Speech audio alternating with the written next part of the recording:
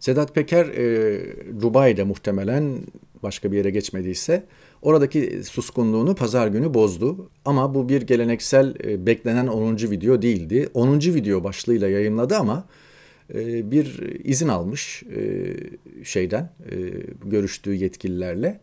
E, daha önceki tweetinde diyordu ki bazı arkadaşlarımız videoyu nasıl çekip nasıl yayınlayacağım yönünde bana akıl veriyorlar. Teşekkür ederim. Benden yana sorun yok. Her yerden çeker yayınlarım vesaire. E, bu Sedat Peker'in e, bu ekranlar dahil pek çok ekranlarda dile getirilen eleştirileri duyduğunu gösteriyor. Çünkü kastedilen şuydu. E, sen herhangi bir otel odası veya otel salonu e, falan kullanmadan da arkana bir beyaz duvar alarak yayın yapabilirsin e, tweet atabilen insan video çekip onu Twitter'a da koyabilir, Instagram'a da koyabilir, YouTube'a da koyabilir, 2 dakikada koyabilir, 8 dakikada koyabilir, 18 dakikada koyabilir, 1 saatte koyabilir. Buna herhangi bir engel yok. E, neden yapmıyorsun falan gibi eleştiriler çokça gelince o da ister istemez e, bunu e, değerlendirmişti. E, şimdi ona bakalım kısaca. Evet 10. bölüm e, Zaferin büyüklüğü mücadelenin zorluğuyla ölçülürmüş.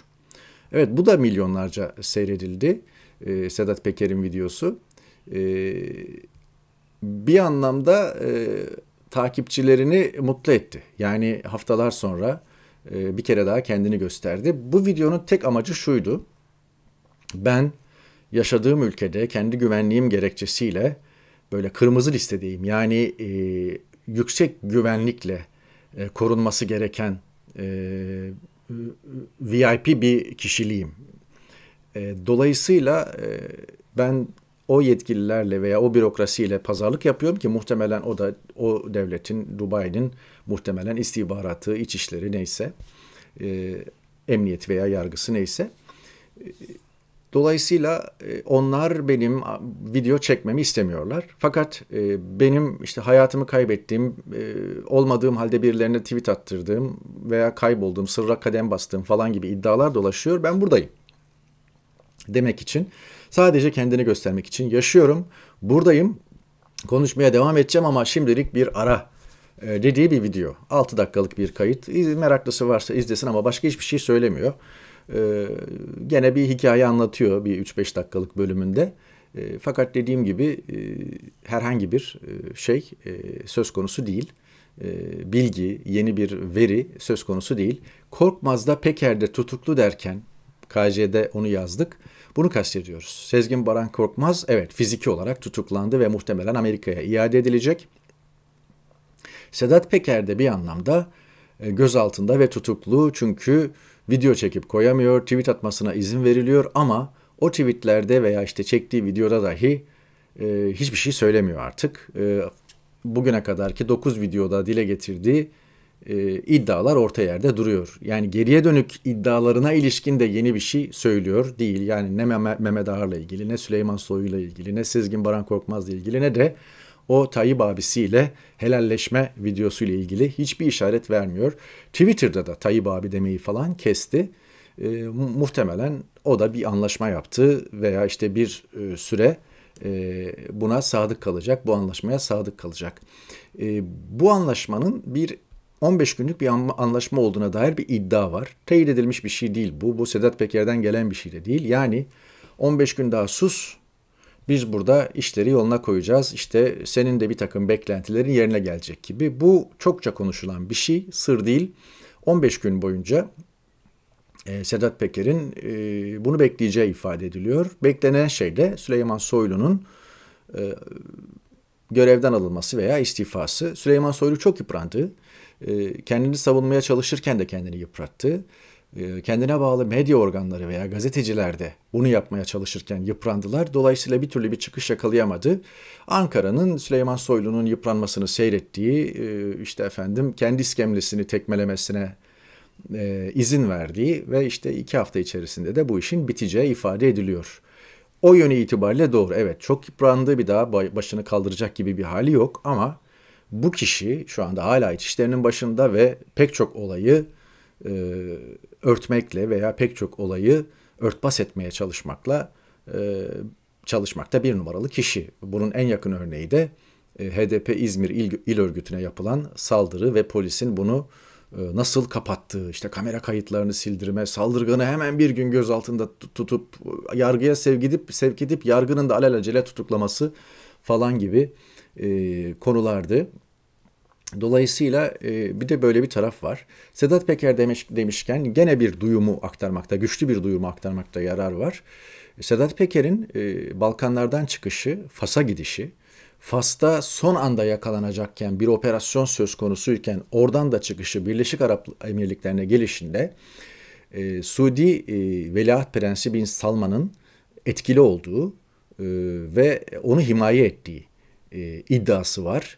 E, bu iddia doğrulanmaya muhtaç fakat akla uzak değil. Çünkü Bin Salman e, Mısır'la da birlikte ve gene bölge ülkesi birkaç ülkeyle de birlikte ki Birleşik Arap Emirlikleri ile yakın ilişkileri biliniyor. E, Türkiye'ye e, Türkiye'den hiç haz etmiyor, Ankara'dan Tayyip Erdoğan'dan hiç haz etmiyor ve Tayyip Erdoğan'a Ankara'ya ve mevcut Türkiye liderliğine zarar verecek girişimleri destekliyor. Sedat Peker de böyle bir figür. Dolayısıyla Sedat Peker'i e, Fas'tan Dubai'ye gelişinde himaye etmesi, kol kanat germesi ve onu Dubai'ye yönlendirmesi, orada da himaye etmesi, koruyup kollaması kendi artık güçleriyle veya istihbaratıyla veya polisiyle söz konusu olabilir. Bu da mühim bir iddia efendim. Evet.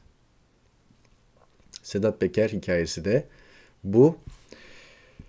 O araca e, HDP İzmir İl Örgütü'ne saldırı demişken e, bu olay unutuldu.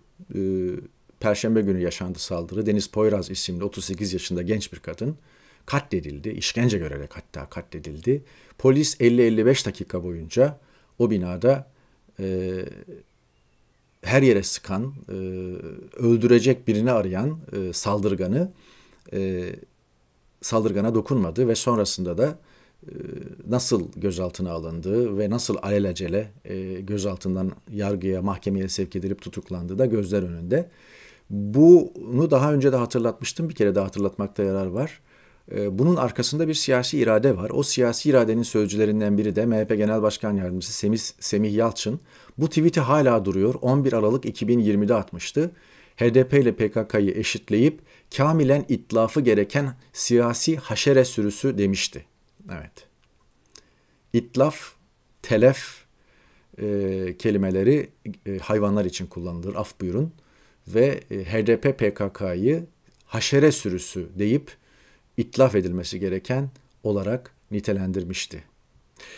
HDP e, İzmir İl Örgütü'ne yapılan saldırının ardından e, Cumhurbaşkanı e, yaptığı açıklamada İzmir'deki provokatif saldırıyı kınadık ki provokasyon deniyor ama yani o faşist bir saldırı yani. Ve arkasındaki siyasi odaklar da ortada. Kimin yaptığı da ortada. Kimin örttüğü, kimin kapattığı da ortada. Şunu unutmayın. Diyeceksin ki nereden biliyorsun? Geriye doğru gazetecilik deneyimimiz ve ülke okumalarımız bunu gösteriyor. Bir saldırı yapılmadan önceki konjonktür, siyasi hava, ortam, kamuoyu, buna bakacaksınız saldırı anına bakacaksınız. Saldırı nasıl gerçekleşmiş, ne biçimde, kim, hangi silahlarla ne biçimde yapmış, nasıl organize olmuş vesaire. Kendi ifadelerinde var. Organizeyi anlatıyor. Yani izlemeye almış e, HDP İzmir İl Başkanlığı'nı o binayı tasarlayarak bir saldırı var. Sonrasında polisin tutumu, nasıl gözaltına alındığı, nasıl abicim ismin neydi filan gibi polisler soruyorlar. Kelepçe bile yapmadan işte koluna girip götürüyorlar. Sonrasında da bütün bağlantılarının bütün geriye doğru bu cinayeti azmettiren kimlerle beraber hareket etti hepsinin ortaya çıkartılması gereken en az birkaç günlük gözaltı süresi gerekirken 24 saat içerisinde apar topar kendi ifadesini dikkate alıp yargıya sevk edip orada da hemen tutuklanıp cezaevine gönderiliyor. Bölgedeki bütün esnafın kamera kayıtları kopyalanıyor ve kaynağından son birkaç haftaki kayıtlar siliniyor. Muazzam bir örtbas etme şeysi var ama devlette kayıt kaybolmaz. O kayıtları topladılar, emniyette bir yerde duruyor. E, ve sonrasında yapılan açıklamalara bakıyorsunuz. Başbakan, İçişleri Bakanı, Başbakan yok, Cumhurbaşkanı, İçişleri Bakanı hiçbir açıklama yapmamışlar ve Erdoğan'ın yaptığı kınamada bu. Diyor ki kınadık, benzerlerini de kınayacağız. Ben hayatımda böyle bir açıklama görmedim, işitmedim. En, en fazla şunu söyledi devleti yönetenler. Dediler ki kanı yerde kalmayacak, failleri bulunacaktır, devlet büyüktür, hesabını sorar, gerekeni yapar. Hep böyle lef, beylik laflar işittik biz. He he deyip geçtik ama yani en azından bir laftı bu yani. Hani çok öyle eleştirilecek bir tarafı yoktu. Fakat burada benzer saldırıları da kınayacağız, benzer olayları da kınayacağız diyor. Yani gelen şeyleri de yani devleti yöneten kişi bundan sonra olacakları kınama şeysini yani peşinen kınama şeyi açıklaması yapmaz. Ne geliyor ki? Diyeceksin ki buna bir daha meydan vermeyeceğiz. Tüm tedbirleri alacağız vesaire. Operasyonlar başlattık şu bu bilmem ne. Bir daha kimsenin burnunun kanamasına, kimsenin canının yanmasına izin vermeyeceğiz filan demesi lazım. Yaklaşan saldırılara haber veriyor. Hatırlayın Meral Akşener İkizdere'de oradaki köylülerle dayanışma için bulunan e, dayanışma için gitmişti İyi Parti Genel Başkanı ve Meral Akşener için bunlar daha iyi günleriniz daha neler olacak neler demişti. Recep Tayyip Erdoğan ve işte izliyoruz. Sedat Peker'e tekrar döneyim. Sedat Peker'in 24 Mayıs'ta attığı tweet. Ee, Sedat Peker'in çokça işte Alevi kışkırtması planlanıyor, aman sokağa çıkmayın falan gibi tweetleri de paylaşıldı ama bu önemli. Önemli olan şey şu. Kanla ilgili işte kanlarında duş alacağız, direklere asacağız falan gibi kampanyoz, e, o barış akademisyenleriyle ilgili laflar hep hatırlatılıyor Sedat Peker'e. Onunla ilgili kendini savunurken mühim bir itirafta bulunmuştu Twitter'da. Hala duruyor bu tweet. Kanla ilgili söylemiş olduğum olayların hepsi söylendiği dönemde hükümetin lehinedir. Yani hükümet istediği için böyle yaptım. Devamla diyor ki, çünkü diyor o zaman korku iklimi oluşturmak lazımdı. Yani bir dönem korku iklimi oluşturmak için, yani bir dönem belli kaos planlarına hizmet eden Sedat Peker, şimdi aman kaos planı yapılıyor dikkat edin diyor. Sedat Peker'e bu yönüyle, Sedat Peker'in laflarına bu yönüyle dikkat etmek gerekiyor mu? Evet yani kaos planı lafları, Alevilerin kışkırtılması, Kürtlere dönük şeyler falan. Evet bu yönüyle dikkate almak gerekiyor. Neden? İşi bilen birisi içeriden. Niye? Çünkü diyor zamanında ben de yaptım. Korku iklimi oluşturmak için, kaos planı için vesaire ben de hizmet ettim hükümetin yanında. Şimdi diyor ben çok iyi biliyorum bu olayları, hükümet aynı şeyi yapıyor diyor. O açıdan Sedat Peker'in e, laflarına e, dikkat etmek icap ediyor.